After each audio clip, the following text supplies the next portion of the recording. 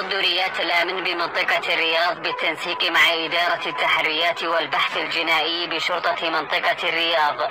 على ثلاثة مواطنين ظهروا في محتوى مرئي إثر اعتدائهم على آخر في محل تجاري بسلاح أبيض لخلاف مالي معه. نتج عنه أضرار مادية ولا إصابات. وجرى إيقافهم واتخاذ الإجراءات النظامية بحقهم وإحالتهم إلى النيابة العامة.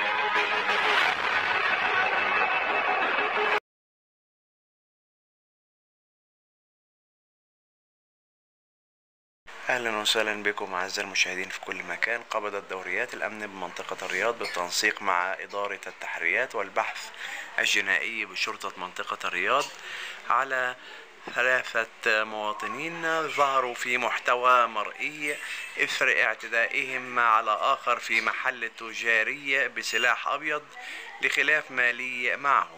نتج عنه أضرار مادية ولا إصابات.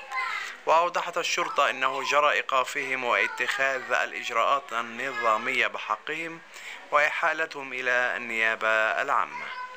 دوريات الأمن بمنطقة الرياض بالتنسيق مع إدارة التحريات والبحث الجنائي بشرطة المنطقة تقبض على ثلاثة أشخاص لاعتدائهم على آخر.